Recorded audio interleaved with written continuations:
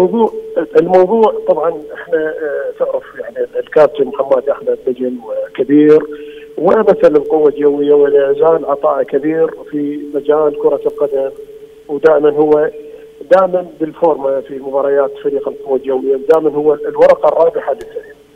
حاليا هو يعني في الانتخابات الأخيرة دخل إلى محترك الجانب الإداري وهو عضو هيئه إدارية وحاليا الإخوان في النادي القوة الجوية ضمن كشوفات النادي ورد اسمه ضمن الأسماء المشاركة في الدوري العراقي. وتعرف يعني يوم غد أكو مباراة طرفيها القوة الجوية ونادي الكهرباء.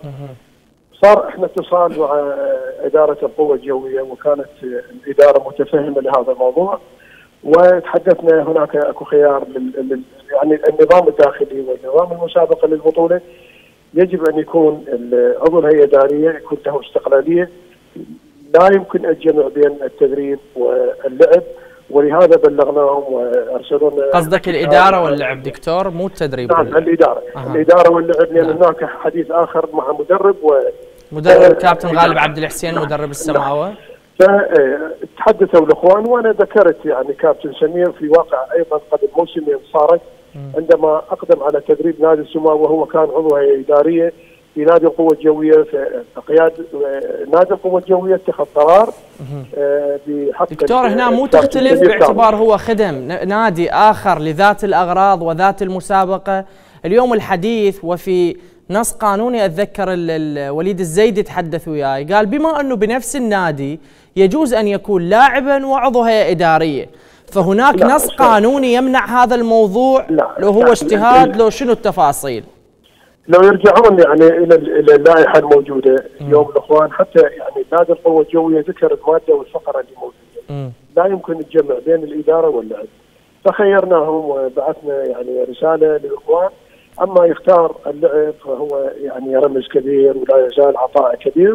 والإدارة يجي في وقتها يعني تحدثوا الإخوان في موضوع يعني موضوع الاستقالة يمكن تعليق. فالتعليق لا يمكن يكون هناك تعليق. التعليق هناك التفاف على القانون وعلى النظام وعلى النظام اللي مطروح في لائحة المسابقات. إيش عجب دكتور؟ مو أنت هم معلق عضويتك من إدارة لا لا هذا هذا الموضوع إذا تتحدث لك. أنا أنا يعني مو من ضمن الهيئة العامه مو من ضمن الهيئة العامة لنادي الزوراء.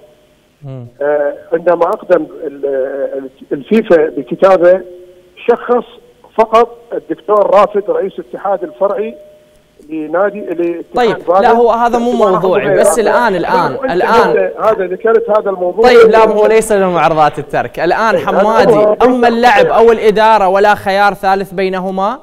لا لا. ولهذا شوف اليوم القوه الجويه اللي عرفوا اليوم غد إن شاء الله.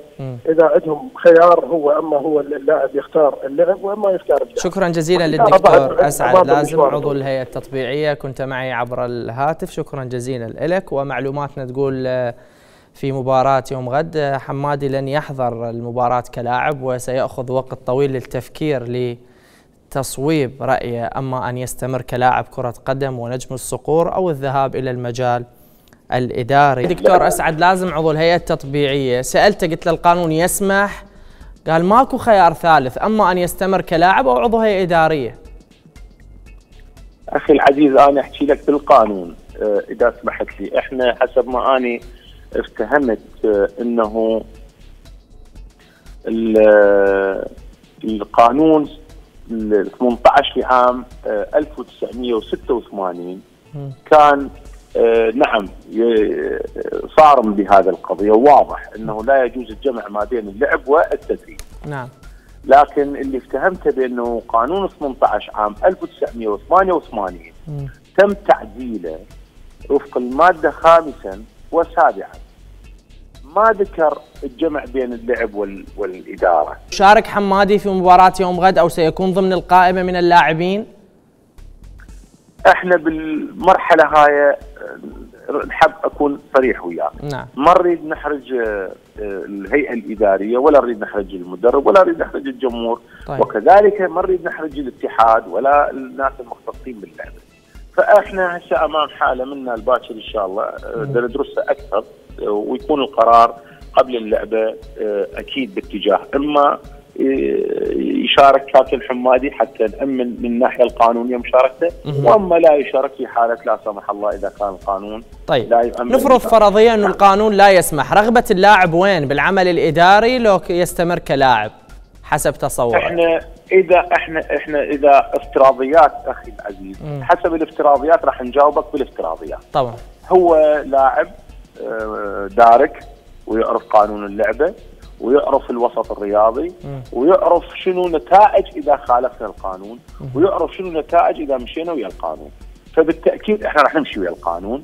القانون إن كان سمح له فهذا يعني لا عفوا بس بس أوضح لك سؤالي لواء شهاب نعم. أقول إذا القانون لم يسمح لحمادي بالجمع بين اللعب والإدارة فرض المحال ليس بالمحال. نفرض القانون سار على هذا الموضوع.